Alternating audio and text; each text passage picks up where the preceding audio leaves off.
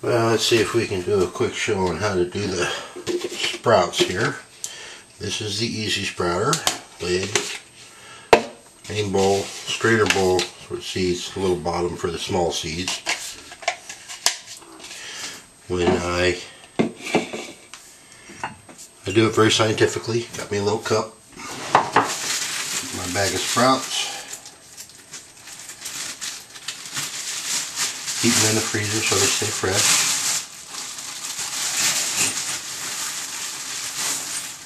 Use about three quarters of one of these little cups. Pour it right inside.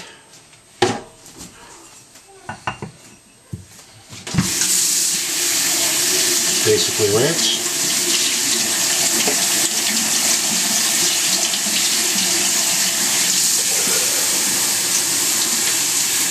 Put two in together. Fill it up with water. Put the lid on. And I'll set it over in its dark corner here until uh, tomorrow morning. Uh, but for the sake of time, in the morning what I would do, I would just strain it. Rinse.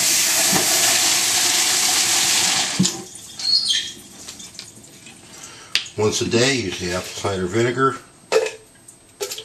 Just throw a little splash in.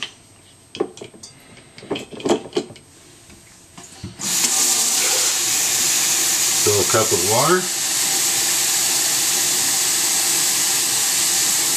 And in order to make sure I get a good mix, I go ahead and I start putting the water through the seed. Just pour it on through. It out. Rinse it. Let it drain till most of the water's out. Put it back in. Set it off over. I do it with the apple cider vinegar once a day and once a day without. And it seems to work pretty good. Right now we're still working on getting it soaked up.